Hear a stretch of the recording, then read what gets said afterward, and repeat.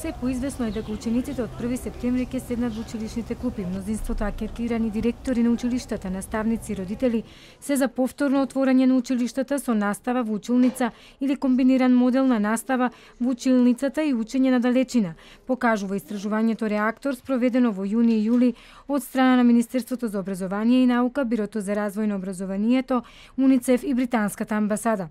Според истражувањето, само 19% се изјасниле за продолжување на наставата на далечина.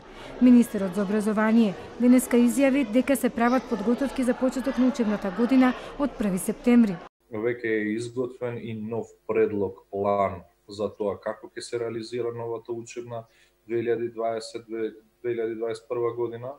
Не би сакал сега многу да се задржам на тоа, бидејќи работата не е целосно завршена а дополнително и целта на денешната конференција е презентација на наодите од истражувањето на искуствата на училишните директори, наставниците и родителите од изминатата учебна година. Само ќе кажам дека планот за од септември ќе биде финализиран во следните денови и јавноста соодветно ќе биде информирана за тоа. Важно е да се знае дека во предвид се земени мислењата на сите оние кои се засегнати во овој процес и кои сакаат да дадат придонес кон квалитетот на тој процес. На необходност од отворање на училиштата посочи представничката на УНИЦЕФ. Доколку отворањето на училиштата не ни е приоритет, ќе забележиме назадување во образовните придобивки стекнати во последните години. Најдобрите интереси на децата мора да бидат централни при носењето одлуки за тоа кога и како училиштата повторно ќе се отворат. Без оглед дали наставата ќе биде онлайн или во училиште или комбинирана, на сите родители најважно име децата да се здрави и сигурни. Покажува покажува анализата на првата детска амбасада во светот Мегеши. 68,7 од испитаниците прифаќаат и би избрале паралелен пристап комбинирана настава со физичко и онлайн присуство.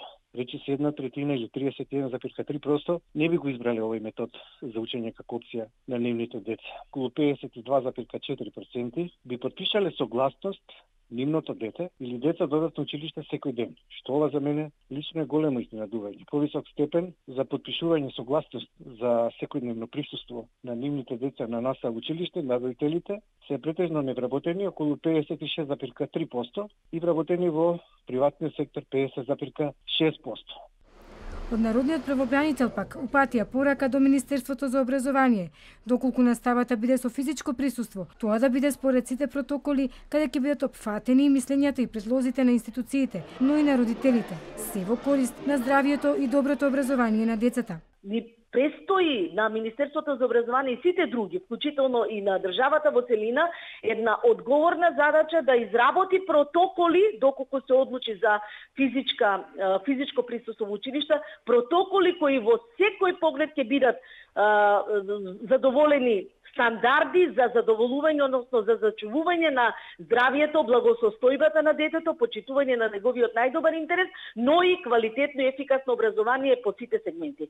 Одлуката на Министерството за образование за тоа каква настава ќе посетуваат учениците од 1 септември, официјално ќе се знае наредната недела.